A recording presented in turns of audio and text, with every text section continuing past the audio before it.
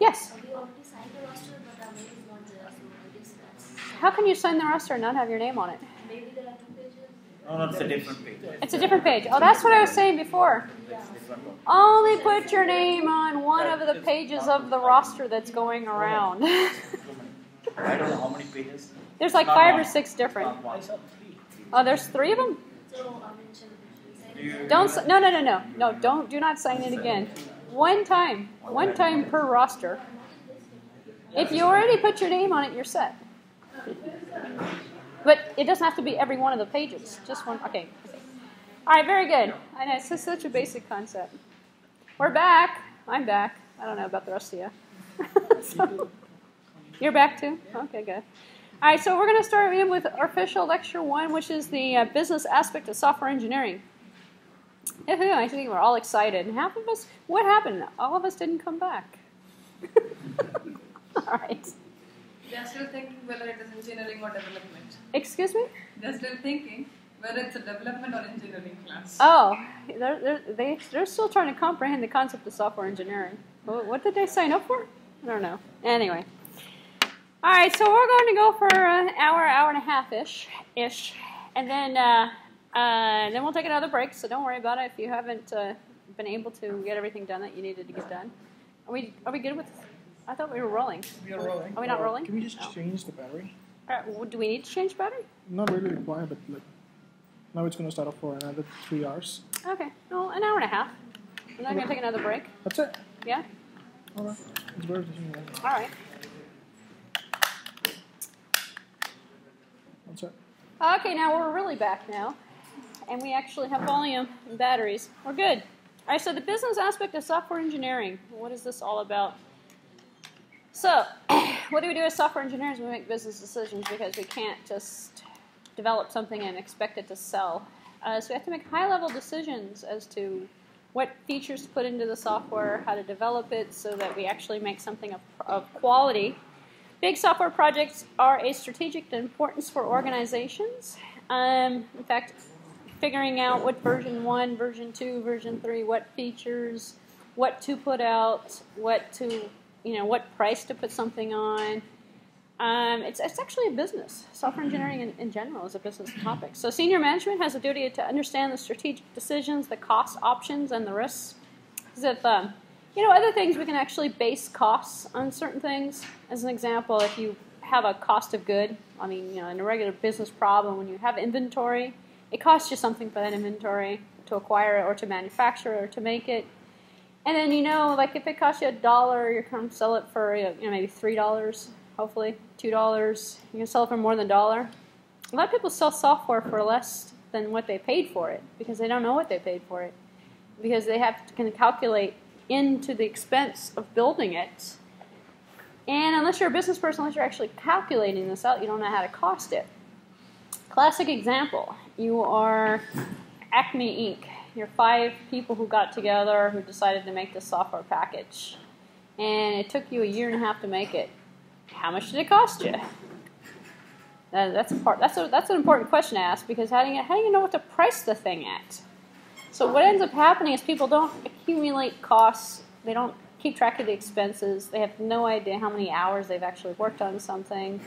Instead, they go out and they say, "Well, Acme Inc. We produced scanner software package as a generic product that they actually made. Let's say, and that took them a year and a half. All they do is they go on the market and say, "Well, other scanner software is selling for $49.95. We'll sell ours for $49.95. and there's the price." But when you think about it as a concept, how do you even know if you're making money off of that? How do you even know how many copies of that software you're going to sell? So you can actually kind of approach the entire concept of software engineering from a business perspective and make money at it by figuring out what it actually does cost you, what you should actually sell something for, and not base it upon what everybody else is doing, which is what a lot of American companies actually do. In fact, if you go online and you start looking at software, it used to be everything was 99 90, everything's 49.95 today. I don't know why. We, we went down 50 bucks on almost everything. Because what people are willing to pay for software I, I guess went down. I mean they're basing it upon some kind of artificial pricing model that they have. And the internet it has an interesting pricing model to it as well. Especially you know for, for companies who like sell stuff on ebay or you sell stuff on your there's like you, you price it like a dollar under or a dollar over, and you're just looking at everybody else's price. But you can't really do that and make money and actually kind of plan it out like a business if you're building your own software and you're expecting to actually kind of do it for a living or to do it as a, a business or as a career. So senior management actually has to take a look at and make strateg- strategic decisions on how many people to hire to work on something. How many hours is it really going to take? What resources are actually required? And then actually put a price on the value of whatever it is so that you're actually making money on it in the future. Um, which is not something, it's not the, really the traditional method that a lot of software engineers take. If you think of, uh, you know, some of the high profile stuff, like uh, as an example, that whole movie, what was it, the social, social network or whatever, where they're, you know, the guy's what, he, he's not making any money on it at all. If you think about it, on the whole Facebook concept, it wasn't about making money on it. It was about what producing something fun, something uh, for. Actually, personally, I think it was about fame, but it could have been and that's the interesting thing is like, what other careers do software engineers do something for fame and not for money? Other businesses out there in the world, they're doing something for money. Hopefully, you know, why do it? So that's what kind of, you know, going back to the sort of the introduction to the course. That's another kind of weird thing about software engineering. Is like traditionally people don't actually think of it like a business. Like, you know, why do it unless you're going to make some money off of it? So people in senior level management, you can't think the same way you think about garage, building something in your garage or in, you know, for fun or for social reasons or for whatever kind of thinking that goes into some of these other projects. So senior personnel requirement, individual who is familiar with both the strategic business aspect and the computing aspect of the projects that's going on. So that's one of the qualities they're looking for in terms of getting like higher up the food chain and getting in, into a position in which you can actually estimate something and figure out something, and then you can actually plan a project. Because here's what happens: uh, you decide, well, you know, you know how to program, so you put an ad up on uh, Craigslist. You say, ah, um, give me your software projects, I'll build them for you. You're now a new software development company. You give yourself a name, you got business cards or whatever someone comes to you and says, "Well, we need this driver built or something, or we need this project built," yeah, and all of a sudden you're like pulling these numbers out of the sky. You know, oh, I can do it in a week, two weeks, and uh, mm, two thousand dollars. All right, but you don't really know. And the only way you get good at this is by taking a loss, usually the first couple of times. And because most people either under or overestimate, and then what ends up happening is if they overestimate, they're not going to get the job because your statement of work, you get it's going to take you too long, it's going to cost you too much money, but maybe you're more realistic than somebody else who's going to undercut you. This actually happens in real businesses too, with, with mature companies that build software. And then they don't they end up making any money off of it because in order to get the bid, in order to get the contract, they totally undersold themselves. they undercut the time, or they made it impossible so that they spent all this time trying to put this thing together, and the, the, the delivery date passes, and the customer comes back, oh, we don't want it anymore. Because we had this other company at the same time, because the customer is allowed to hire more than one company, you know, to write the same project sometimes. Oh, we hired this company over here, and they finished it for us already, you know. So they don't even take, they don't even pay you for your efforts of all that time and energy you put into it. So you do this, and maybe maybe you're lucky and that this is where you know is it really engineering? If you're guessing, you're lucky. All of a sudden, you know, oh yeah, I finished it in a day, and oh yeah, okay, so I made money off of it, or and then you go through life like you know getting lucky, lucky, lucky. So is there luck in business? Yeah, there probably is sometimes luck in business. I mean, you guys familiar with a pet rock? I mean, who knew in the United States you could actually pull a rock out of the dirt in the ground and sell it, and call it a you know put some paint on it, call it a pet rock. So people rely upon this theory, this methodology for business strategy in software as well. They put together these programs. Oh, wouldn't it be nice if it did this? Wouldn't it be nice if it did? Then they stick it out there, which is how shareware actually kind of started. People, grassroots kind of people putting together stuff and seeing if anyone wanted it. And instead of the opposite normal business models where you think of a product because there is a demand for it. and you come out with a business plan for it. Instead, they come out with a product and then they come out with a plan to sell it. Like, here's our product. Happens all the time, still, even today, if you think about it on the internet. All this weird stuff that comes out. You know, it's like, who, like, actually, if you think about it, I mean, what's the concept of the iPad? You know, when it first came out, why, why do you want this thing? And people bought them without even knowing what they needed it for. In fact, people are still kind of wondering what it's for, actually. It's not really a notebook replacement. Now it's what is it? Now the Xfinity has it as a TV remote control, you know, or as a, you know, you schedule your stuff on it. But do you really want to pay five hundred dollars for a device to use as a remote control or to as a schedule? Or I mean, that's kind of a weird, weird product from a professional organization that was wanted to put. Oh yeah, it's cool. I mean, how, how many people need all these little iPad, i, I, I, iPod things? You know, they're like you know, clip on, little ones, big ones, pen ones. I don't know what they have now, but it's like somebody dreams of this stuff and they put it out there and they put a price on it and people come up with a use for it. It's got, it's, if you think about it in concept, you have to kind of step out of the box a little bit and kind of think about it. It's the exact opposite of real business. I mean, usually you find a niche in the market where you're missing something and you build a product to fit into that. And then you've got a model that you're working with, a traditional business model. And then you can price it all out. You can say, I am going to make two, this is how many of them I'm going to make because this is what the demand wants. This is what it's going to cost me, and this is how much profit I'm going to make on it. And I'm going to schedule it out two years. You can't do that. I mean, talking, I mean, this lecture is all about the business aspect of software engineering. If you remember anything, just think it's the exact opposite of traditional business practices because you can't foresee oh, we need this product in the world. It's not necessarily what we're missing. It's it's it's sort of like, what if we make this? Will anyone buy it? You know, and what can we use it for? And then what ends up happening is we end up with these products, these concepts that come out. If you think about all the features on your smartphone, they all became part of your smartphone from other concepts.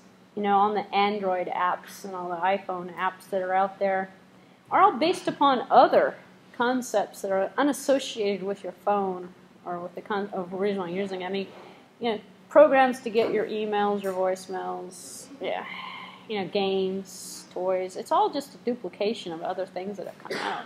I mean, as a product line. So somebody had to think of it. You know, the thinking, and sometimes I wonder the thinking that goes into some of these products that we have on the market.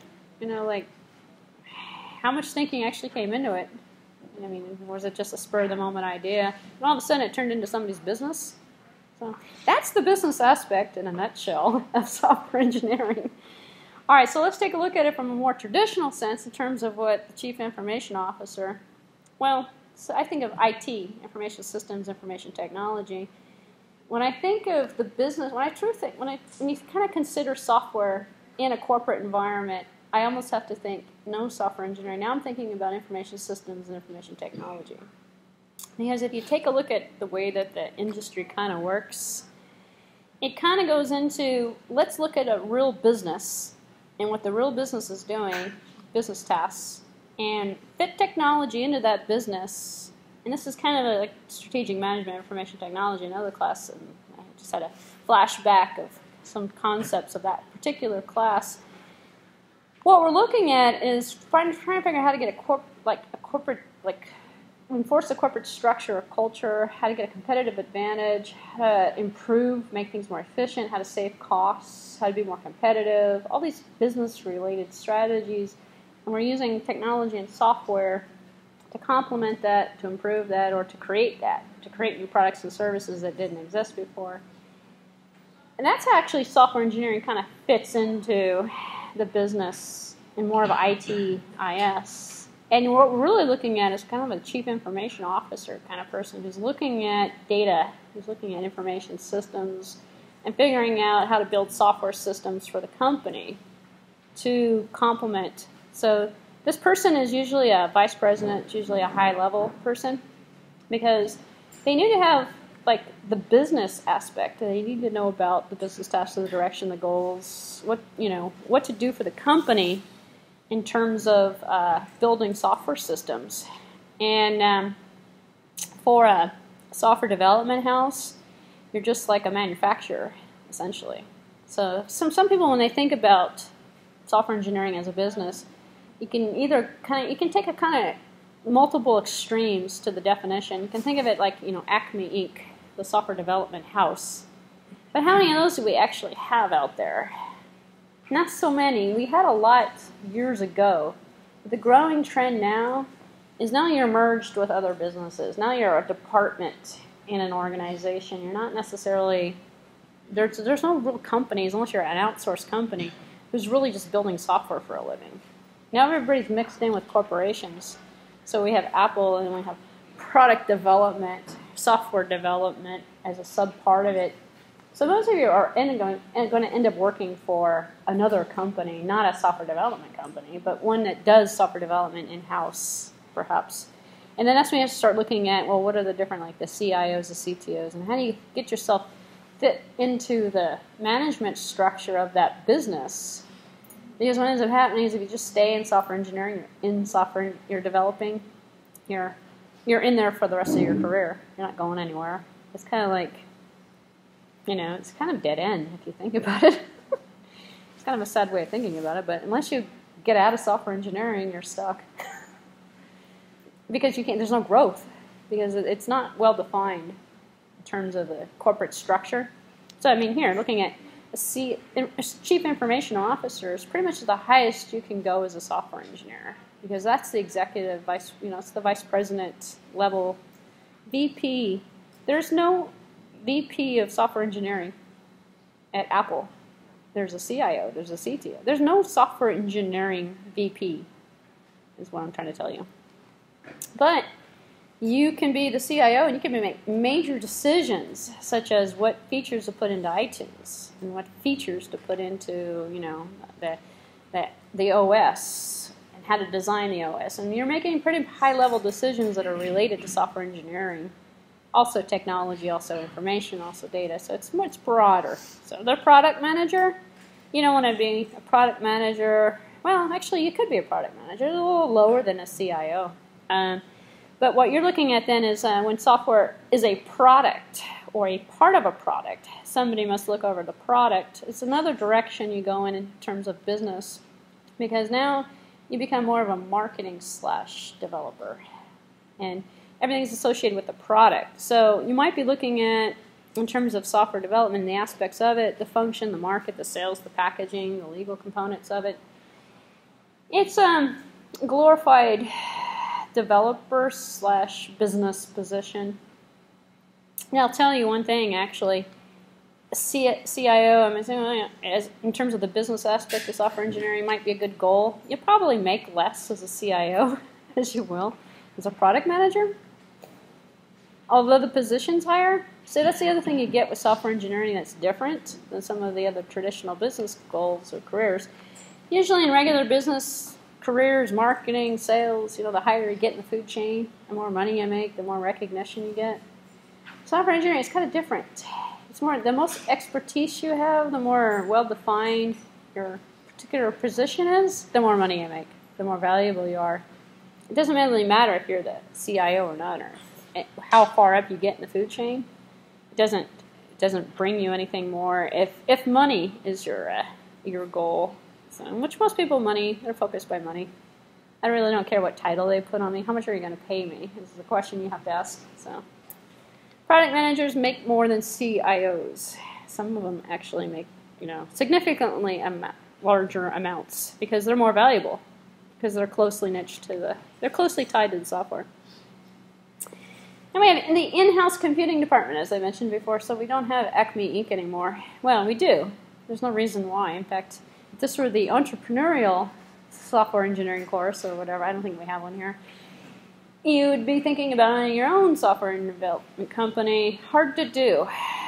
Hard to do. We have some companies out there still. We have Symantec, well, or antivirus software. We have Norton stuff. We have companies that specialize, but we don't have any too too many successful. All we do is make and sell software, unless you're an outsourced company and you're working with outsourced pro, and they're going away actually, which is kind of it's kind of a weird market right now, I should say. So, in terms of the in-house computing department, we're looking at the organization, centralized computing department reporting to the chief information officer. and that's the, pretty much the structure that I described a few minutes ago. We have a decentralized model with computing distributed across the organization.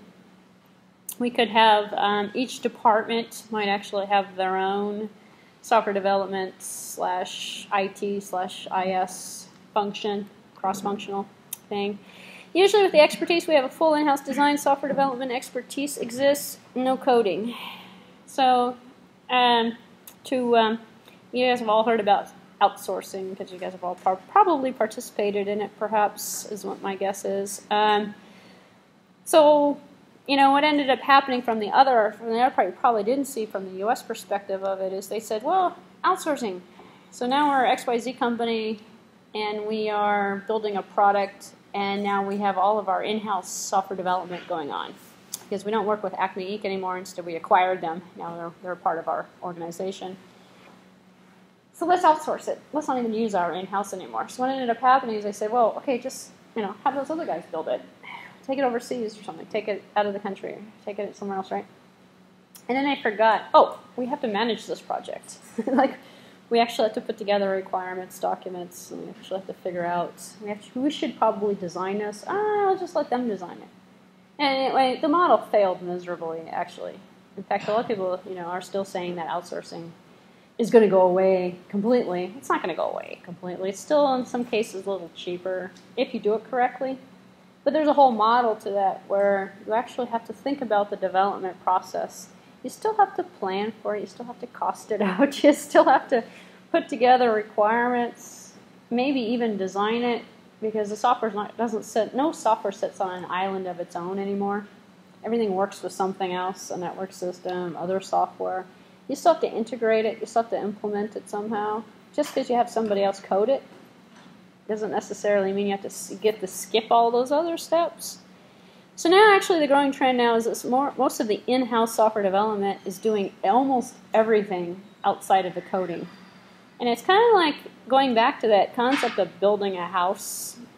Um, you know, you can get an architect, you can buy the land, get the architect, get all the drawings put together, the whole thing planned out completely Send your plan to five different contractors, construction companies, pick the best bid you want, and have it built. Well, that's how you build software nowadays. So the only thing that we're outsourcing is the build. It's just here's the plan, here's the architectural design, code it for us. That works. That model works, um, which is kind of like how outsourcing is working these days. We're still planning it. We're still doing the architectural design with everything in house, uh, which is what you do in software engineering. So it's just kind of interesting because depending upon where you take software engineering courses, in the old days it used to be they used to teach you a bunch of programming. You know, you, you signed up for a master's degree in software engineering, you learned Java and C++ and everything. You know, that was software engineering. It's not software engineering anymore. now software engineering is architectural designs, and now it's it's it's how to how to use the methodologies correctly and how to do QA correctly and how to do all this other stuff. They can get a trained monkey to do the coding. You don't need to learn programming. Now, I hate to tell you, but you don't actually need to have technical skills anymore to be successful in software engineering. And in fact, in-house people they don't want to hire programmers because programmers can be outsourced. You can always outsource someone to write the code for you. So, software houses, another trend. Um, what are the software houses doing? They're providing the services.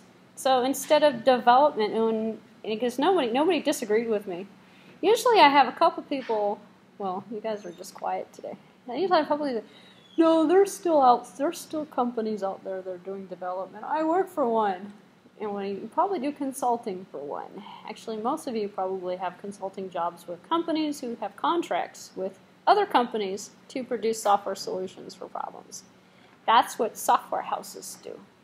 They're not Acme Inc. software development anymore the nature of what they're doing is slightly different. Instead, they're providing services. So, what you can do, in fact, is what most people actually end up doing.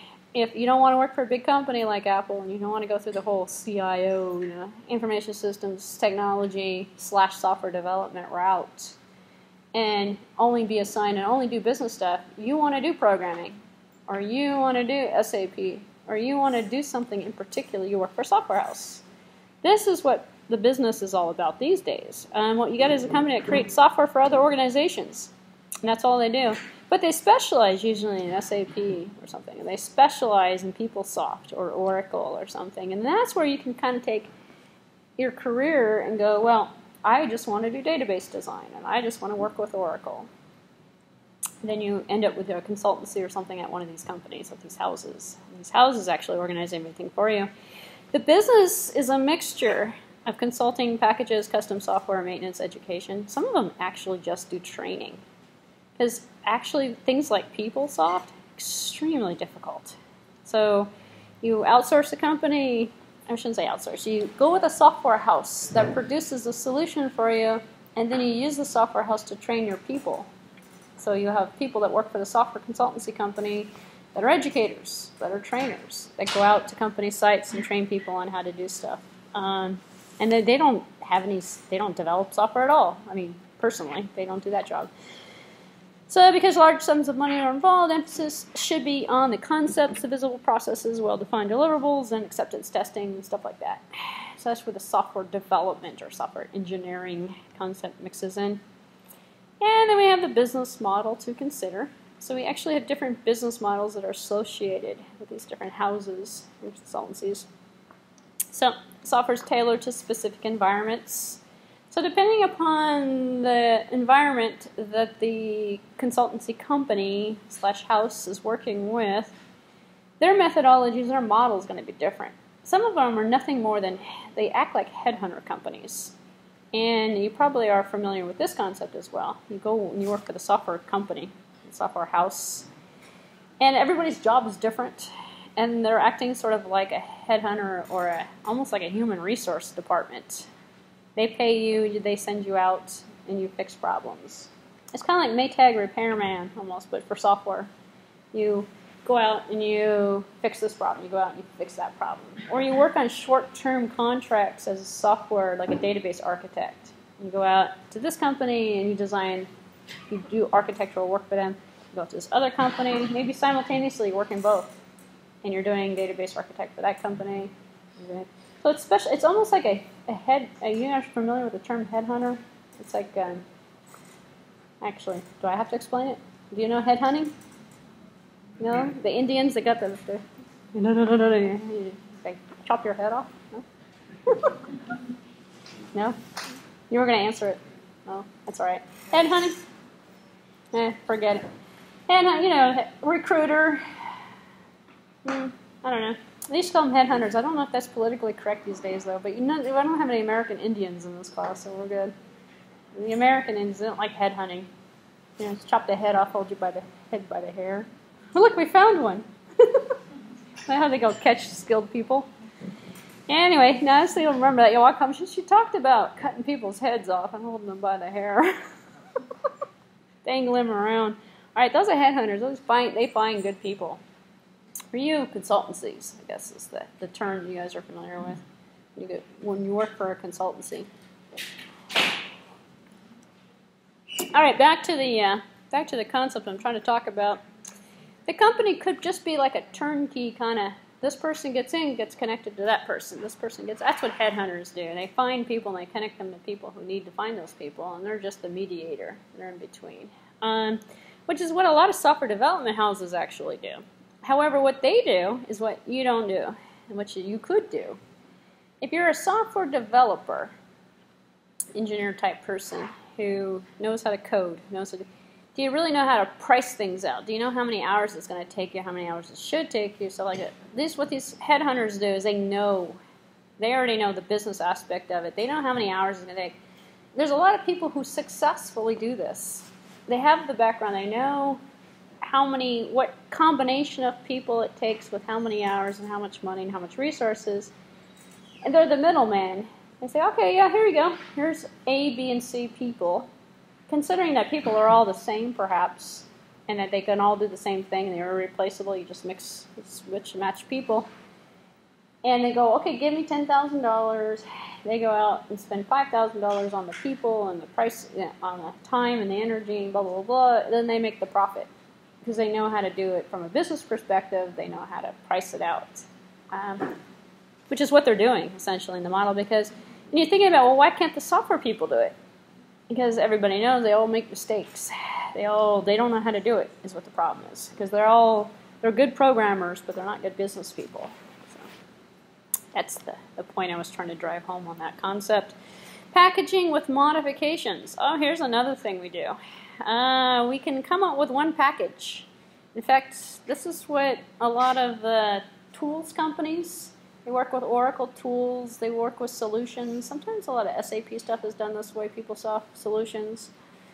You know something well, you got a package that you put together as your Acme Inc. company, and you're selling the same package with modifications to different companies. That's still that's still around. That still exists. So you're developing general purpose packages. The client licenses the package.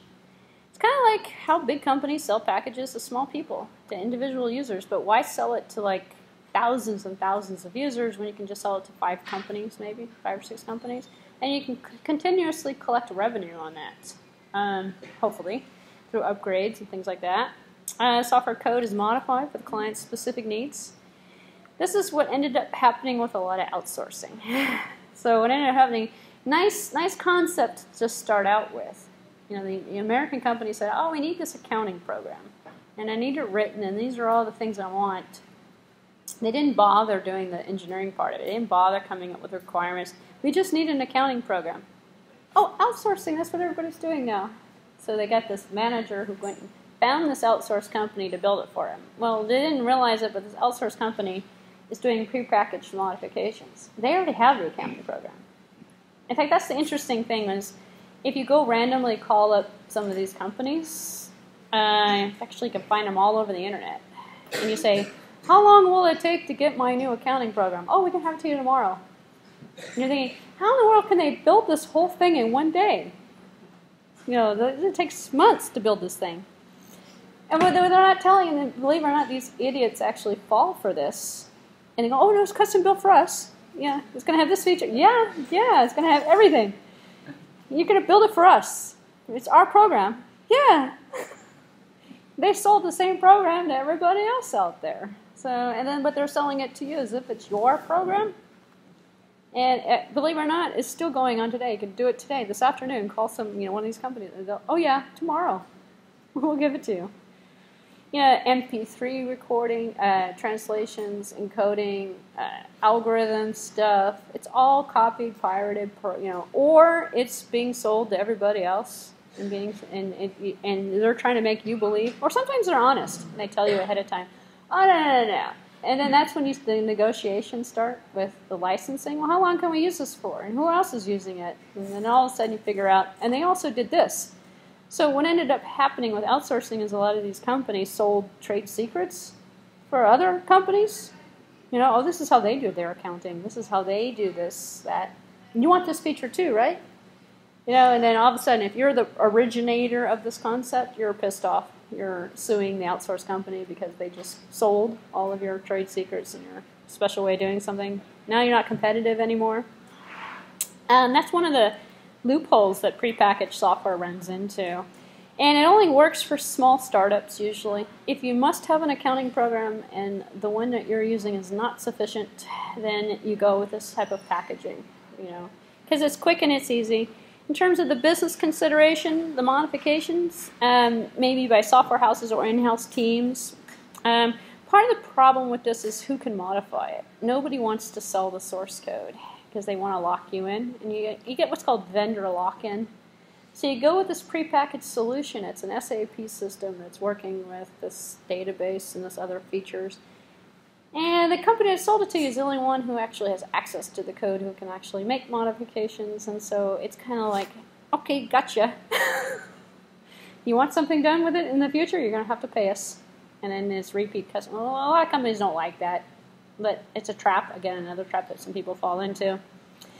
And so if you can actually get the source code, which you're probably not going to get, because then why you can just take and resell that if you wanted to.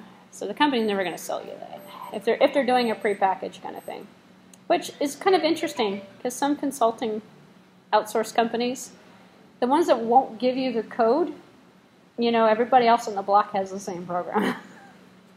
they're reselling it all over again. So maintenance is an issue with that. Legal issues include uh, maybe the access to the source code, the ownership of the source code, and we have an entire lecture on that issue itself, actually, in the type, you know, who owns the source code, who owns the copyright. Examples: corporate payroll systems, accounting systems, small business systems.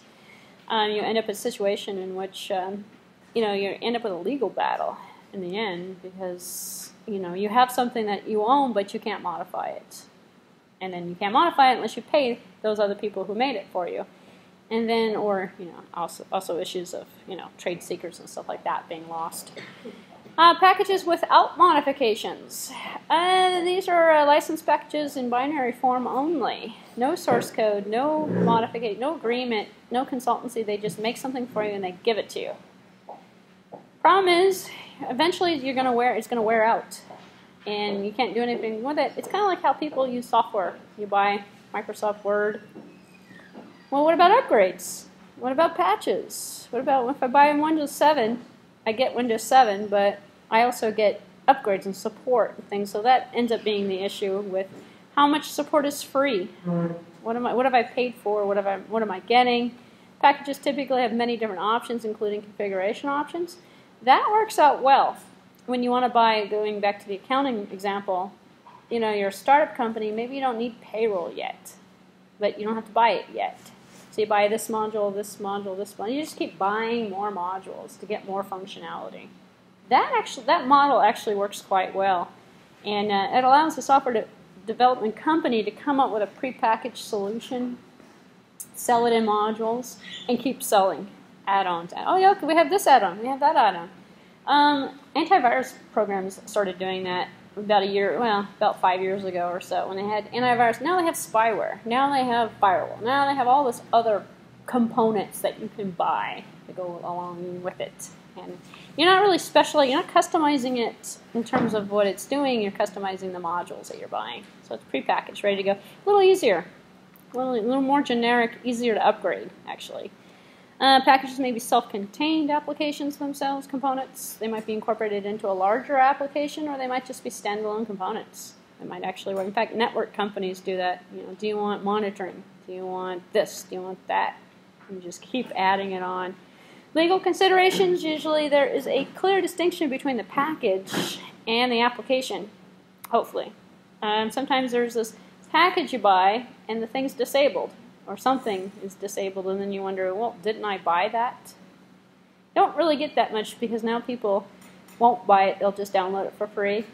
they'll use it and they go, well, this has been disabled ever since I've gotten it, which is kind of like what AVG does if you use that. Actually, AVG is kind of interesting. If you guys use AVG, Yeah, anti- yeah, free antivirus software. Yeah, the little trick to it though, if you get if you actually pay for it, you get a faster running version of it. And uh, some of the features of the free version are there, but they're not working. Although you see them there, and they look like they're there and they're running, but they're not running. Actually, they're not running. It's, it's kind of interesting, but it's kind of a good ploy to get you to pay for it too. I think. But anyway, it's not a bad idea, and that actually brings up a totally different model. That goes back from the old demo, free freeware, shareware, open source kind of kind of model. But it, it's kind of different though. Their whole ploy is in the marketing showing you the features, and then they send you those terrible, nasty reminder messages about upgrading and stuff like that too. So. All right, uh, of here might be a database system, mathematical packages, and stuff like that. And actually, what I liked was like when they used to sell you database systems with applications, but they didn't allow you to use the database system outside of the application. So some of these people like shipped you an entire Oracle system that was built with a, a POS, point of sale, or some sort of transaction management. But if you tried to use the Oracle without the application, it wasn't working when they shut it off completely. It's because they sold you a runtime version instead of the real version or something. And they got special licensing for it. So, and sometimes you might have expected to be able to use the Oracle to add another application to it or to do some modification, and then you discovered you were locked in, lo- locked out. Excuse me. Hey, you couldn't use it. Big business model embedded systems. Uh, wave of the future. Everything's smaller, smaller, and smaller, and on the chips now. no more computer. Software bundled with hardware products. So the software that comes with your phone is kind of an example of this. Your Android operating system. That are you really free to use? If you're got an Android phone like a Motorola phone, HTC produced phone, you have to use their software development kit to actually access through the interface for the phone. But Android is open source; it's free but it's linked with the hardware. So the way, in fact, they provide the SDK for free, which is nice. In fact, in the beginning, Apple tried to sell you in order to use the iPhone and go through the SDK to actually make apps for the iPhone. In fact, you still have to. You have to pay like $100 for a developer's license to use it, unless you're in education and you get it for free. Well, actually, I have a free one, but. Uh, and long story short, they pay you, excuse me, you pay them $100 to use it, and then you pay them if you want to publish an app. I don't know what it costs, but they get a profit of every app that you make, which is why people kind of shied away from that. Well, come on, this is the business aspect of software engineering. We're in it to make money, right? so that's one of the newest ways of taking kind of embedded hardware dependent software that might be free but not free in the end. Free to the user, free to some certain point of view, but nothing can really be free, can it? If you want to make money off of it. So Apple's biggest thing is is in the software, not really in the hardware. It's they don't care. They're making money on the developers. They're making money on a percentage of everybody who puts an app in that store. And you can't put anything on the phone unless it goes through the App Store, which is why a whole bunch of people said, "Oh, forget that." You know, I, I don't want that. I want to go with the Android model. And I'm going to do that. And great. So now we have two competing markets. So we have competition. I don't know if you can't really say one is better than the other. I've tried them both. I could say they're probably about equal. I would say there's more variety in Android apps that you can download, but there's more quality in the Apple stuff, I think, and more censorship in the Apple stuff than there is in the Android stuff. But long story short, what we're looking at is a model of delivering, upgrading, standardizing, working with, selling SDKs for software that's really closely tied to the hardware in an embedded kind of environment. So the product is seen by the user as a hardware product. We buy the iPhone, we buy the HTC phone, but we're really actually getting software. So even if the software development is a major part of the cost of it, it's still the hardware that they're buying.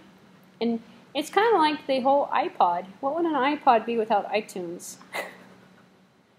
For the most part. And we're buying, what are we buying? We're buying the hardware, we're buying the iPod. So Apple's what they're selling hardware.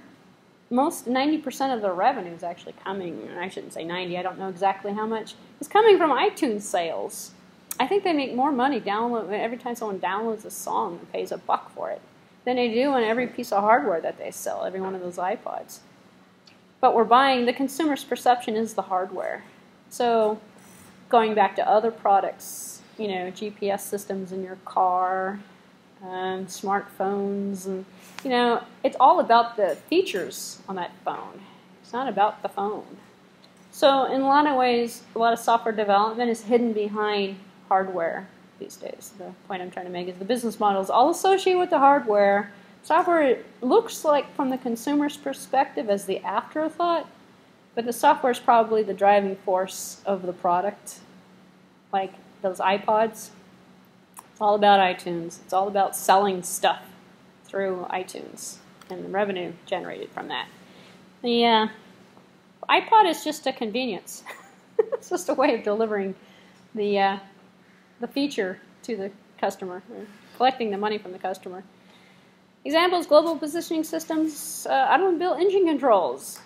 Yeah, most of the engines in American cars these days, it's all about, now it's all about the features. It's all about, can you update, there was a commercial recently, guy, I guess there's a new car out where you can integrate your car through audio voice. The guy comes out from a date or something and he checks a Facebook status through something. I, I, think it was in his rearview mirror or something. I don't know where the controller was or whatever. But it's all about this application about being able to update your Facebook status or your check something in your car while driving down the street, instance seconds after you just finished this date or something.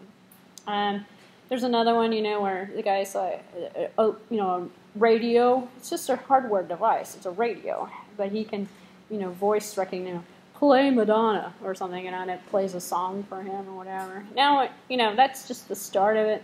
GPS is just the start of it. Now we got cars that back up, that park themselves. All software oriented. It's the software that's running the hardware device. So a lot of software engineering in the future, it's all about the hardware. It's all about making the component work, giving it features. And the software is really just giving it features, essentially, functionality. Talked about outsourcing already. And just a few minor points to kind of conclude with on this topic as a, concept. Somebody else developing the benefits. Well, we can go through it. Um, a little better uh, organization. Well, without even reading through any of this stuff on the advantages and the disadvantages, you could probably just go from your own personal experiences on it. If you're outsourcing, you don't have to have the core competency. You don't have to be a software development company to get software written for you these days. So we have another set of entire businesses that are just about outsourcing everything, but they're the people that with the business concept, which is why outsourcing actually kind of fails.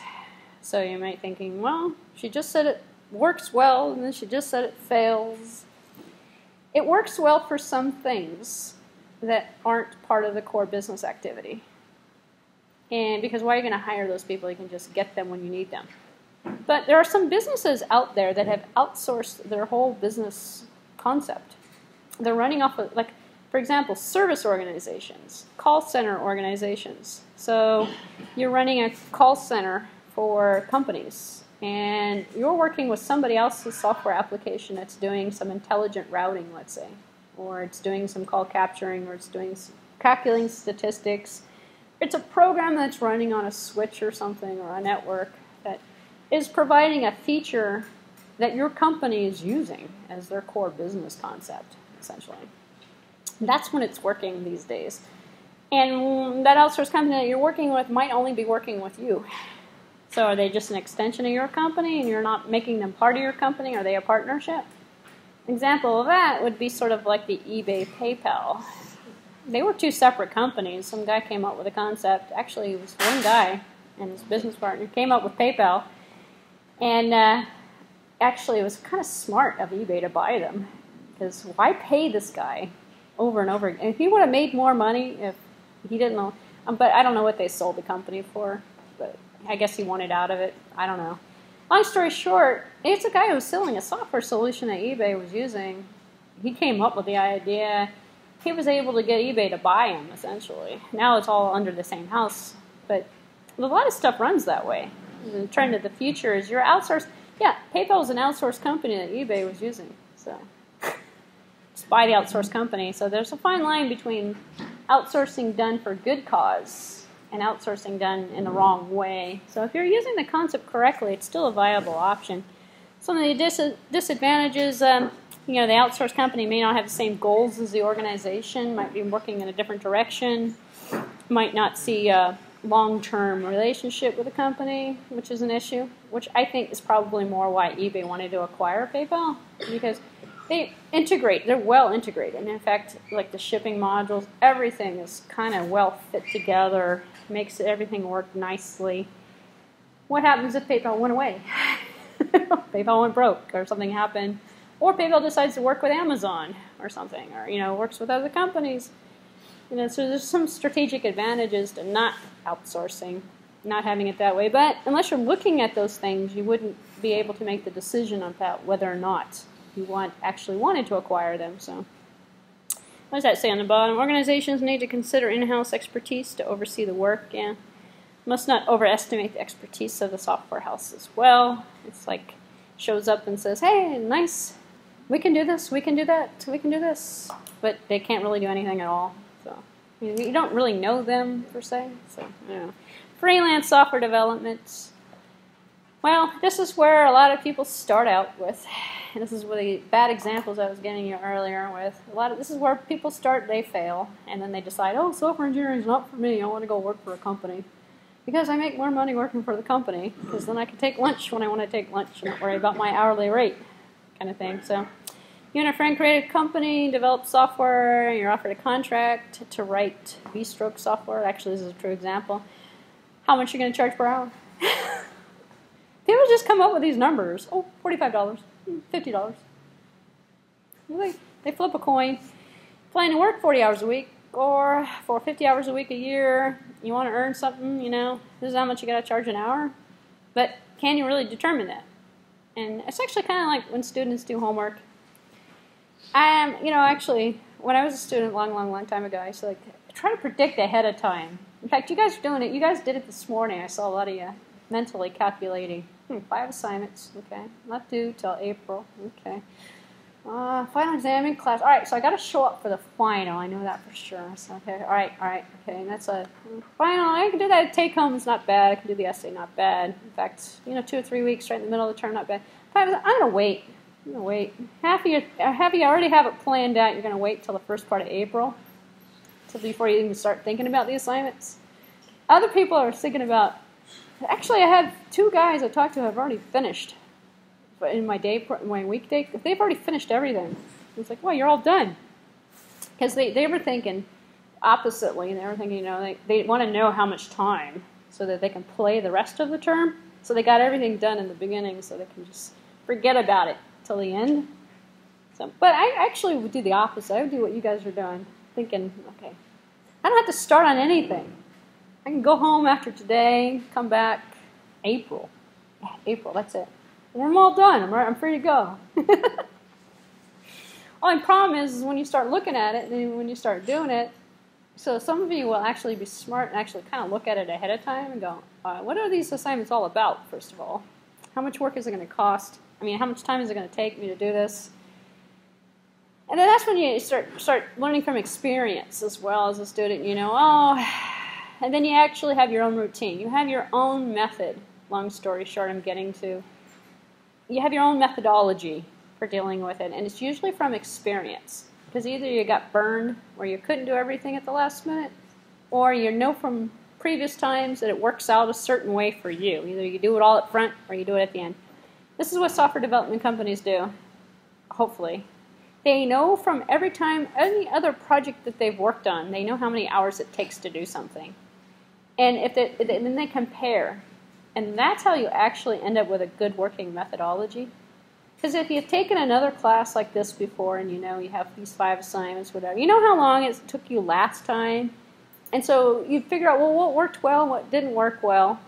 You know, oh, it worked better if I just did them all up front, or it worked better if I just waited, you know.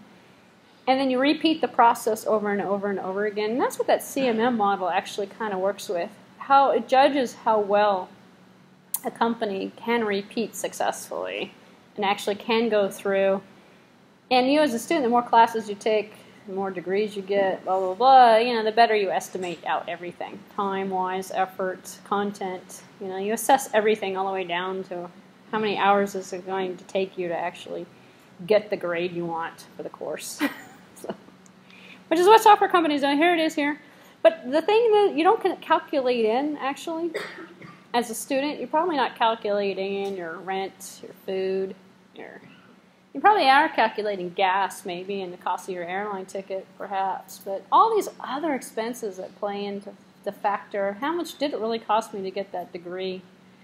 And what, what, what, what opportunities did it give me? Well, I got to go to the U.S., so that's a big one. That's a big selling point. But, you know, what did it cost you?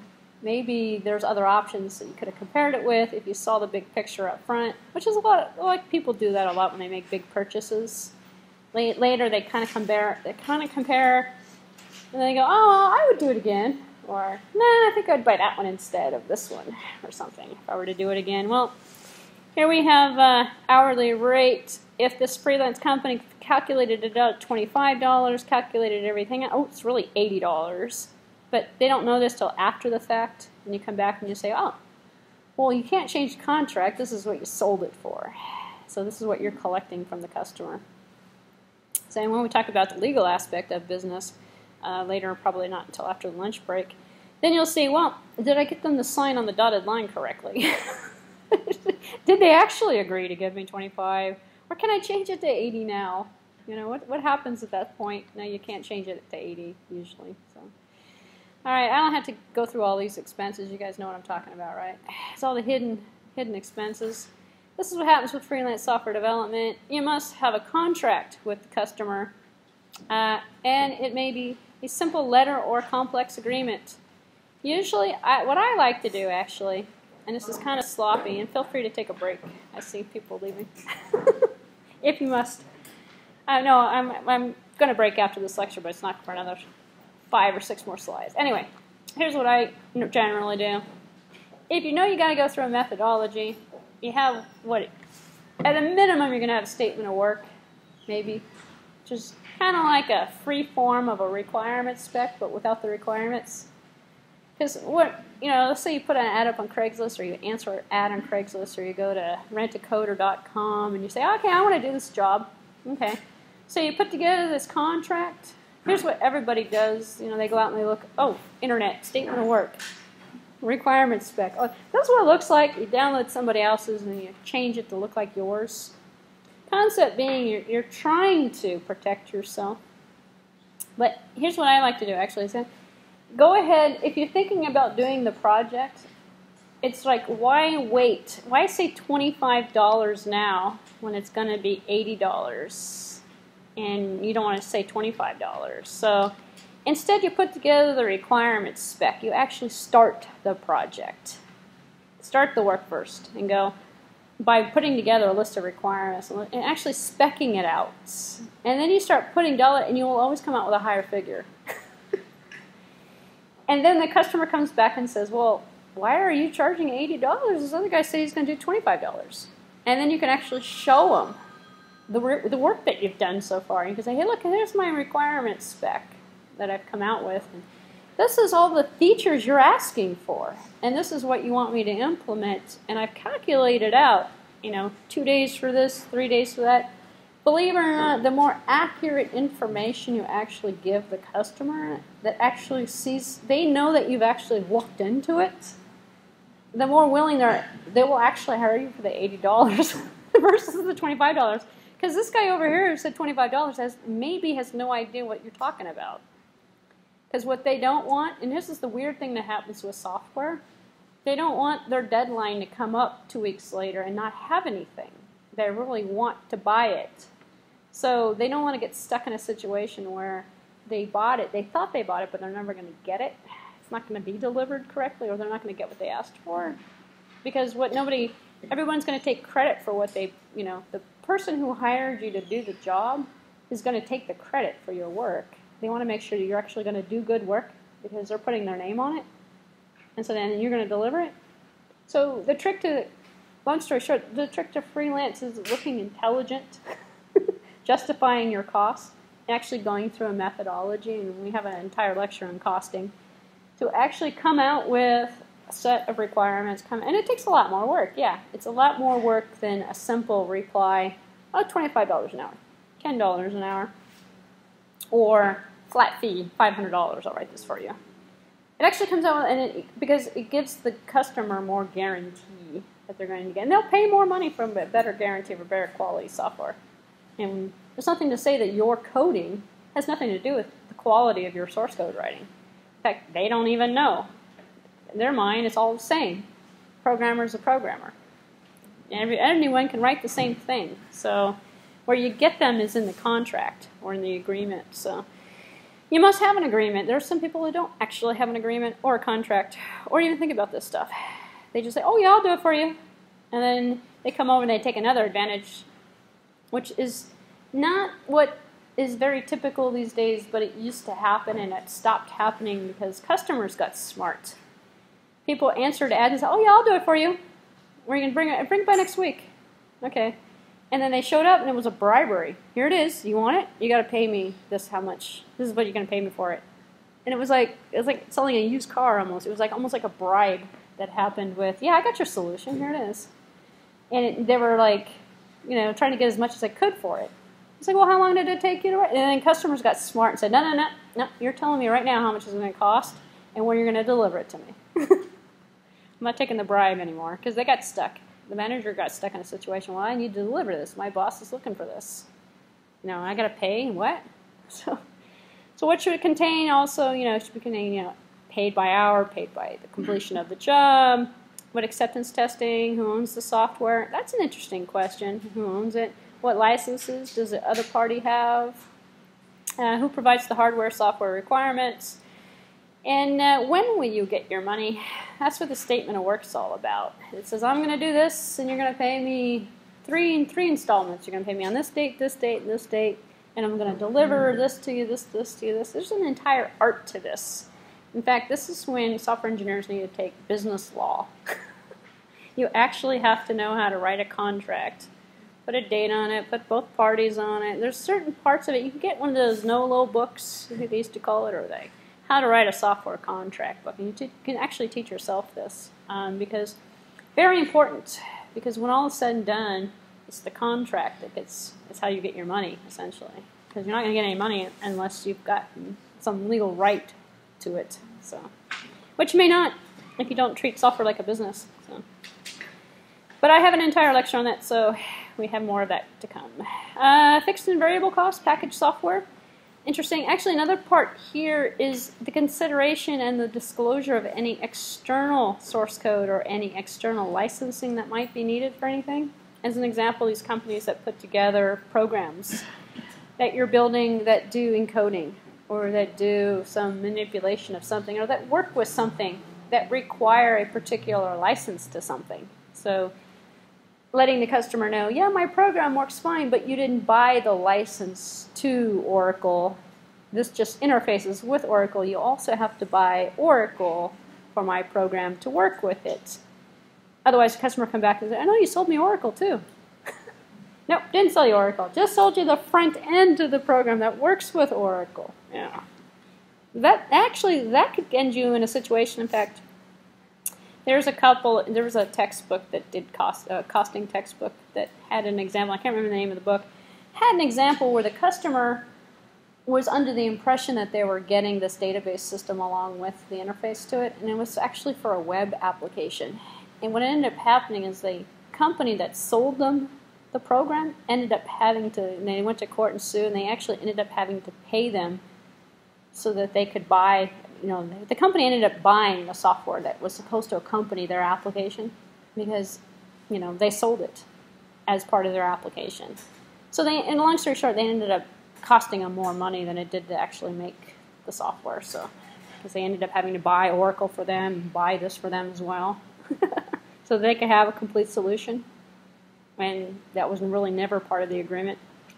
Uh, the variable and the fixed cost package software, as an example, the initial development cost of the software product is a million dollars. The cost of packaging and distributing each copy is five dollars. You got the technical support cost, fifteen dollars a copy. The package sells for two hundred dollars per copy. Mm, variable cost is twenty dollars. So you have different costing patterns and different estimates that you have to make in terms of, am I going to provide support for this? Nowadays, there's no support because in the old days it was too difficult. You know, was it one year, two year, and then phasing out. Actually, if you read your software license agreements, it usually tells you exactly, but who reads it? it tells you exactly how many years they're going to support it for, what what any additional costs that might be associated with it, what liability the company has, and you don't. No one ever buys software. well, that's the interesting part. I mean even uh, when you buy software from a company that's making it for you, do you really own the software? It depends on what you're buying. Because nobody owns the programming language. I mean, other than the programming language company. When you buy software that's prepackaged, when you down, you're licensing it. Nobody ever owns it. The person who owns it is the person who created it. So, by by default, it's your own copyrighted material. And I mean, unless you actually have a contract that transfers your copyright from person who wrote software to person who obtained and uses the software. You own you don't own the software. well, a lot of technical issues with that, actually. Mm-hmm. Yeah. Oh. Who's the responsible for the writer or the company who buy that? Interesting. That's an that's another interesting legal issue. Is let's say there's a bug in the code and the person who owns the code is the person who wrote the code by default. So, and the person sells the code to somebody else, and the bug causes major damage to the person. That's where the software license agreement comes into play, and that's why we have software license agreements. So, it depends on what's in the software license agreement as to who's liable and who owns what.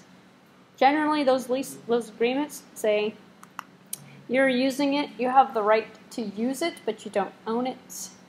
And anything that happens to your computer is your fault. Not in those words, but that's essentially what the agreement is telling you. Whose fault? The programmer fault the No.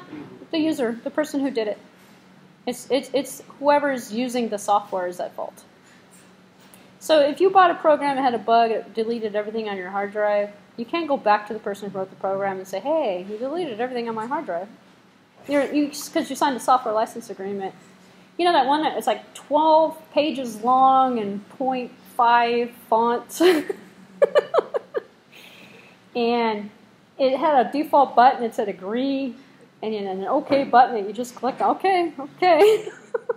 that, that's what told you that anything that happens on your computer is your fault. Whatever the source coded who uh, provide platform to write codes, they don't own any for that. No, because when you sign, as a programmer, when you sign the license agreement to install the compiler on your program, you agreed to anything that you write that causes damage is your fault. It's kind of like a, it's kind of like a funnel. You know, like some of the stuff comes in this way and it funnels out, funnels out. It says there's nothing at the end. this is like how liability works. Every layer relinquishes liability to the next layer underneath it, relinquishes it from the next layer underneath it, relinquish it to the point where nobody's liable for anything except for the end user. You're responsible for everything that happens. But there was a high profile case against Microsoft, and it had something, and I can't, this is like way, way, way back in the old days. It had, right before, before Windows, and it had something to do with a program that did something that, that made the computer not work for something else. It was like one of those permanent state resident programs where it, it, it took the memory and allocated it towards something, and you couldn't use it for some, you couldn't use the computer for some, and some crazy user said, just because I have this installed, how come I can't run this program along with it? This is like way, way back in the beginning. And it was like kind of one of those landmark cases because it came back and said, well, just because that's working doesn't make Microsoft responsible for everything else on your computer. And then everyone started thinking, oh, license agreement. Hmm, you know, where's the think of the legal aspect of this? What's going on? And then that's when it, all this chaos started, and, and it has basically resolved down to nobody has reli- nobody has responsibility for anything, and nobody's liable for anybody as long as you've signed your rights away. What's funny now is everyone who writes software, you can cut and paste it off at common. Uh, actually, there's websites where you can cut and paste a license agreement that just relinquishes all of your responsibility. And you put that in there, and you say, "Customer, do you agree to this? If you don't agree to this, you can't install my software." Of course, they're going to agree to it. and when they agree to it, it says, "Well, we're not responsible for anything my software does to your program, to your life, to your bank account, to anything." So, well, think about it. You know, Quicken. You know, what if you made a mistake in the sa- software application and you accidentally transferred money to the wrong account? It wasn't your account or something. Quicken, are they going to be responsible for that? No. Why should they? User error. or you know, you you you wrote your term paper and your computer died and Microsoft Word scrambled your paper. You couldn't print it out, turn it in. You failed school. You lost your loan. You got deported from the country, and your parents don't like you anymore. Is the company going to be responsible for that? Nobody. So we have the fixed cost, going back to the cost, profit, and loss. Fixed cost, variable cost. Here's the other interesting part. It's kind of like manufacturing. That's why software development is sort of like manufacturing a product. You gotta, okay, so if you're gonna manufacture a product, you have to set up an assembly line if you're gonna do it yourself. You have to set up some equipment. You gotta get some parts. You gotta buy the pieces. You gotta pay for the labor before you get any product to come out. You have all the startup time, the planning, the building, the making the product, and then you finally got a box full of products to sell you send it out there and you get money for it. So those are essential fixed costs that are over here accumulating. Same thing with software. It's not contrary to outsourcing popular belief. It's not built in a day or a weekend or a week. Most software development projects take between six months and two years to build, average being a year and a half or so, a little bit over a year.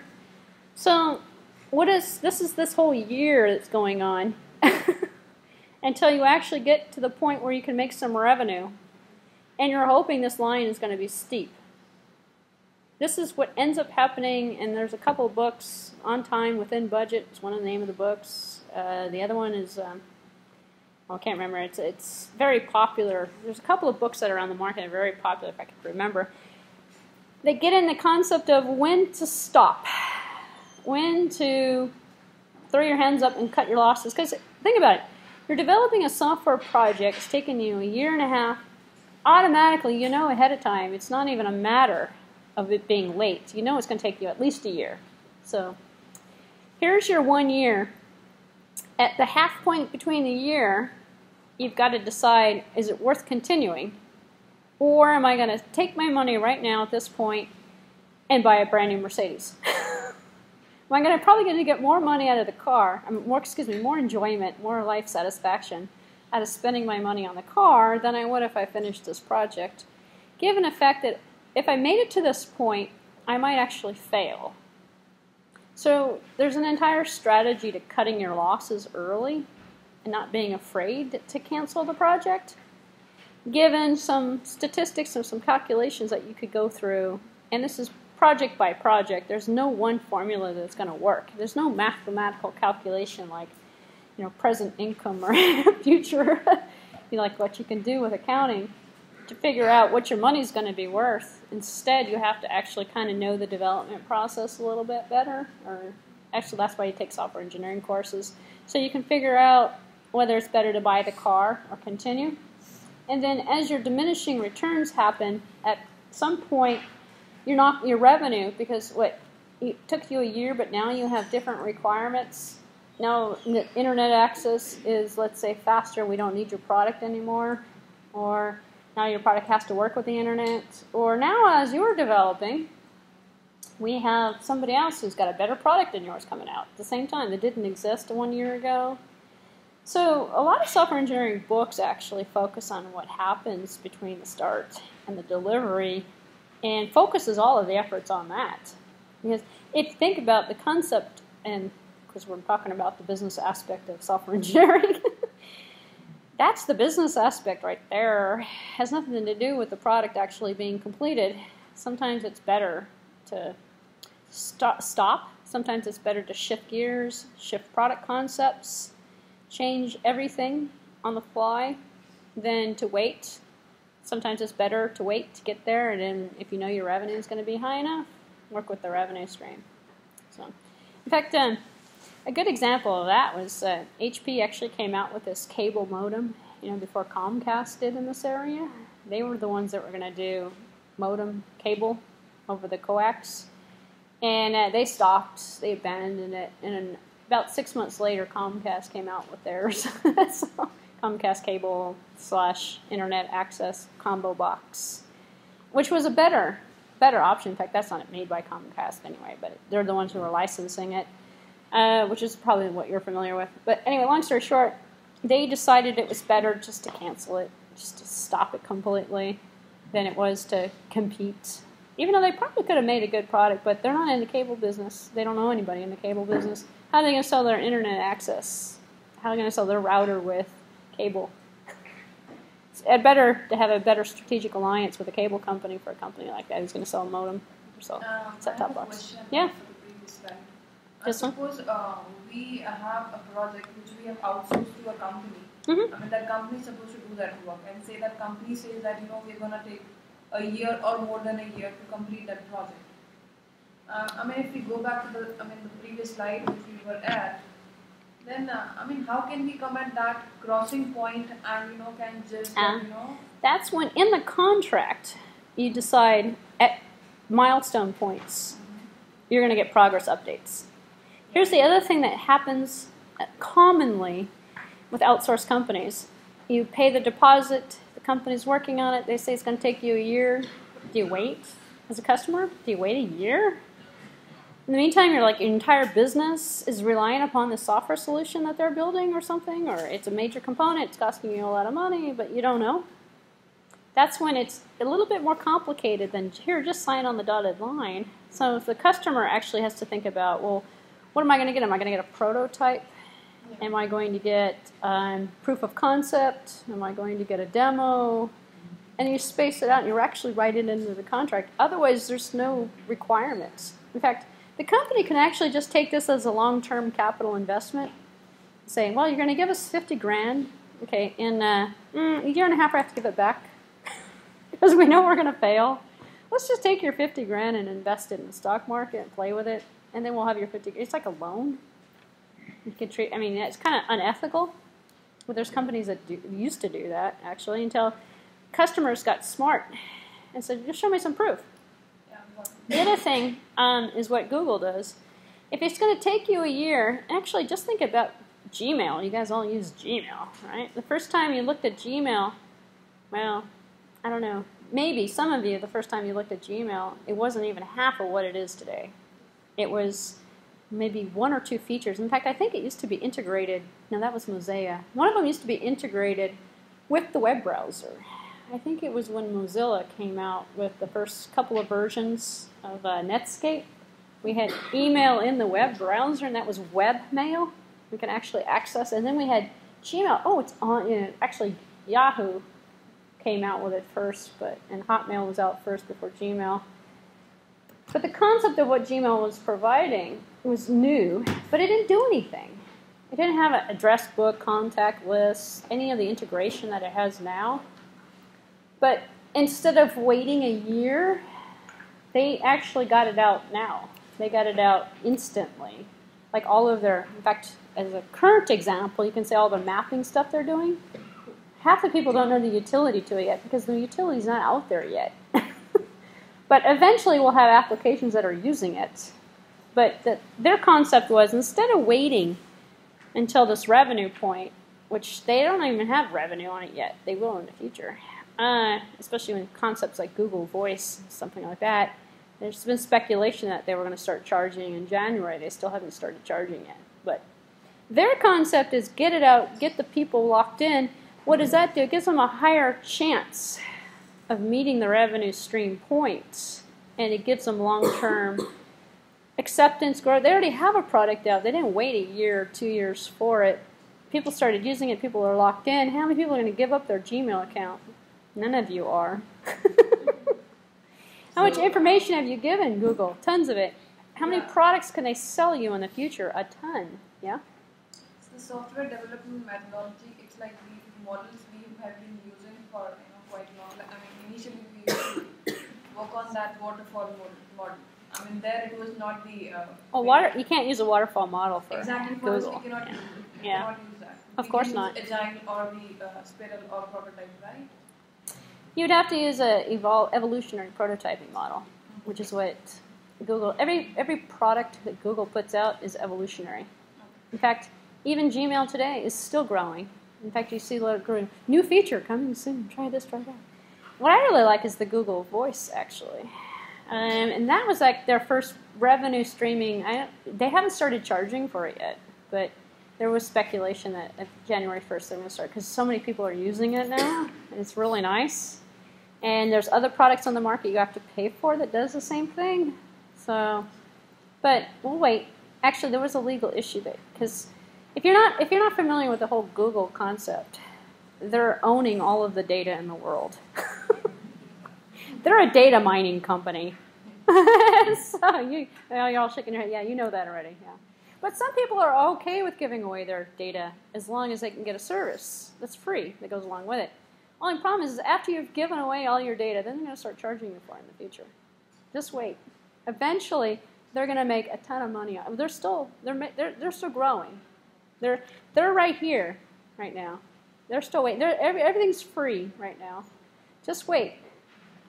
so I keep saying. Uh, two companies are coming up with the same thing. Let's say two companies are uh, making the same type of product. So, um, do companies have uh, certain knowledge about what its rival company is making, or would it be coming up with? Well, people would like that. I certainly would. I want to know what my competitors are doing. Whether or not you're getting correct information depends on your techniques. Are you sending a spy in? Are you because people do that. There's all sorts of different tricks. The concept, if you could actually know exactly what everybody was doing, then there would be no competition. There would be no game. But that's not really a reality, and no one's going to tell you. So it's kind of a gamble. It's it's it's it's a, any other business aspect that would apply towards any other industry is the same concept. Oh, someone's always going to. The, the Amer- American expression used to be, "Can you build a better mousetrap?" It was, someone's always going to build a better mousetrap because it, it's the nature of competition. Someone's always going to come out with something better, so you have to stay one step ahead of your competition. So, in software, it's hard to do that because it's like building a product unless you can figure out how to build it quickly, which is like companies like Google and rapid app, ra- rapid application development, prototyping, some of those strategies are used to essentially put your product out earlier before it's finished. And you can get into, and this is mostly the software engineering one concepts, but the different software development methodologies that promote different characteristics, shorter, you know, things we just talked about. There's other techniques that you can use throughout the development process to improve the likelihood of a, an event occurring the way you want it to occur in the future. So, stay ahead of your competition, reduce your costs, stuff like that. So, profit and loss is all associated with risks. So, I don't even have to, you don't have to read your slide to know that. Cash flow and risk. So, if you sell 7,500 copies, do you make a profit of $350,000? Maybe that's what it cost you, who knows? Did you borrow money to cover the startup period? How much did you invest? Uh, how much invest interest did you pay on the money itself? And what about taxes, cash flow? Taxes, that's an interesting thing the software. what are you being taxed on? What kind of royalties do you have to pay? Sometimes you can add up all the royalties for interfacing, for using drivers, for different components, and that costs you more than what you could sell the software for because somebody else might actually be taking a cut on your software. Especially if you're working with a product that, let's say, works with a hardware device that you don't own the platform for. That's what makes software, in, excuse me, software engineering as a business interesting. Because other businesses can be on an island of their own. Software is never on an island of their own. You're always working with an operating system. You're always working on a platform so you have other people in the market who are determining your livelihood. Because even, in, let's say, for example, even if you make a Windows software application, how do you know Windows is going to stay the same? you got Windows 7, you know, XP, and that's pretty stable. In fact, if you made an XP application, you're sitting pretty good right now because your XP is still supported. If you made one for ME for 95, 98, you, are gone. You're not make, you're not in the software business anymore unless you've changed, unless you've updated. Cash flow, when are you going to get paid? Always late. Uh, when do you have the bills right now? When do you pay bills right now? So you have the risk. You have the risk that uh, what extra costs do you have if the product is a year late? And then you have that big old cost. What happens if you're late? In, in your contract, you don't have any contingency plans you don't have any anything that helps you. You know, all of a sudden you realize they don't have to pay you a dime because you didn't deliver. It's not like if someone was actually building a house for you.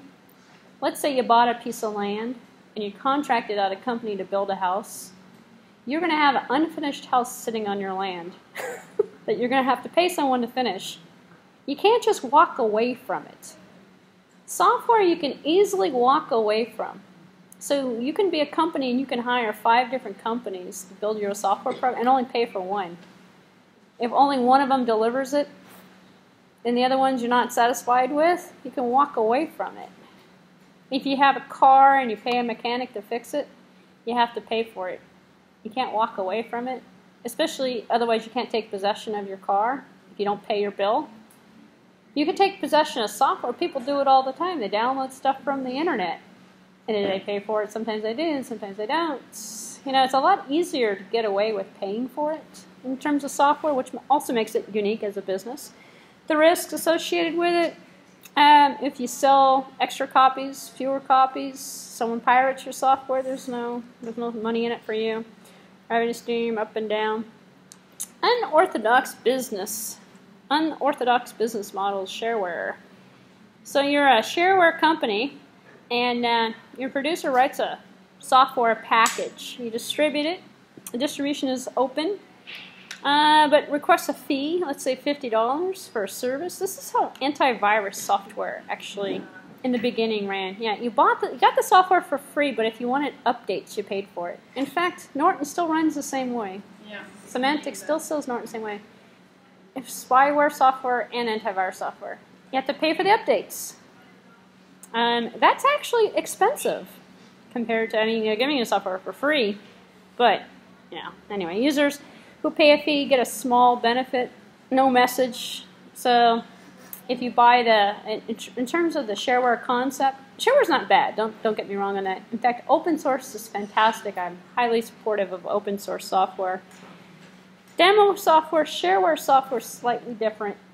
They're giving you a little bit, but they're not giving you the whole thing. When you pay for the whole thing, you know.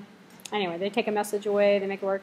There's so many cheating with people taking shareware and violating the, you know, not paying for it, the key cracks, the key gens, all the stuff that can be used to get through software.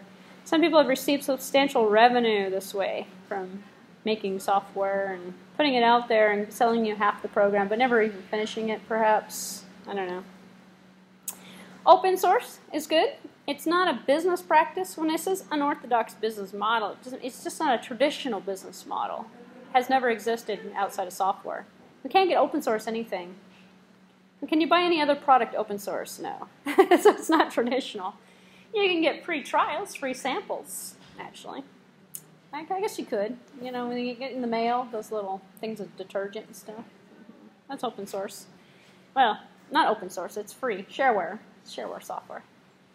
Uh, let's see, Linux, Apache, Perl, as long as you abide by the agreement. In fact, a lot of development, Java is open source. Java is a programming language. You shouldn't have to pay for that.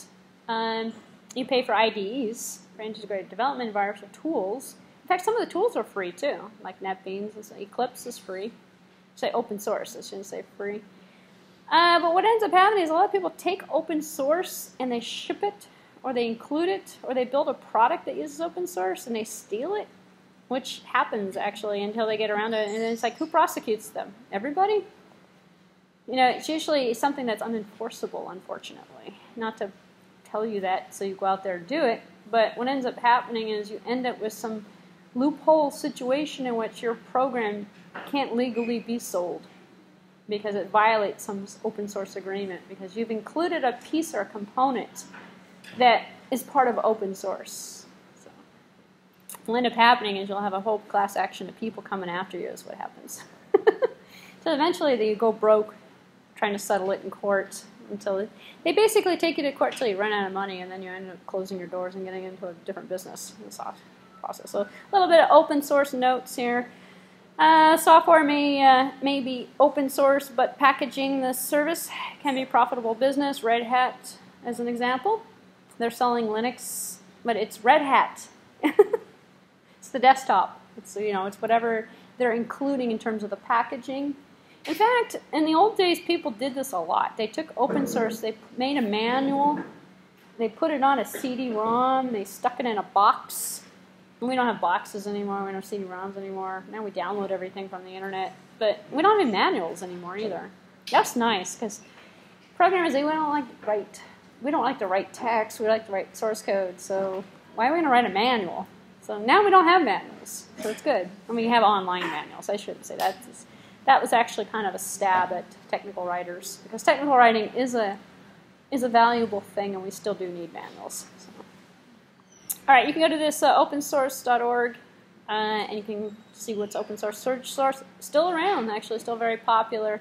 There's some good quality open source out there. MySQL is open source tens of products that work with MySQL. So what a lot of software developers actually do these days is find solutions. They build front ends. They build things that work with open source. They have all sorts of different um, interactions. And uh, you can't take something that's open source and turn it into a commercial software application. But you can take something that complements it, that works with it, and package that up and sell it based on open source. So Open source license agreement uh, is one of the biggest things you have to actually include it. If you don't include it, you're breaking the law, essentially. And I'll have more about license agreements when we talk about the legal aspect of business or software engineering. Uh, but technically, we have a free distribution. We have source code that's available, derived work that's permitted. In fact, you can actually, there's a lot of people that like to work on that, you know, improve something, add a feature to something. And if you say you're using MySQL, this is how MySQL actually got so popular and so fully featured and bug free, was uh, companies were actually using it because companies like Oracle were charging too much for their database. So use an open source database, right? So companies were working on it and redistributing it, putting all of their bug fixes and all of their new features out there to the point where, open, where my, MySQL is actually fairly good as a solution to a problem. A lot of companies are actually using it these days. So, But again, there's no security in the source code, and everybody's using the same thing. But if you're writing a generic program that uses a database, what do you need a proprietary database for? You could use an open source kind of solution. So. Okay, that was an overview of the legal, uh, excuse me, not the legal, sounds like the legal. We got a whole thing on the legal. This is the business aspect of software engineering. Now what we're going to have is a lunch break for about an hour. So it's a, it's actually about noon right now. So we're going to break until 1, 1.15ish. And uh, there's plenty of places you can go eat. I don't know if they're selling any food around here on campus. Uh, but go take a break, get something to eat. When we come back, we're going to go for uh, more topics. That was, we're actually on lecture two. So we only really have about three more topics left. One of them is going to be the legal aspect of business. Another one's going to be on dependability, dependability systems. The other one's going to be on reliability um, and other certain features about QA, um, which are kind of what I was going to say more advanced stuff. So that's what we have to uh, look forward to after the break.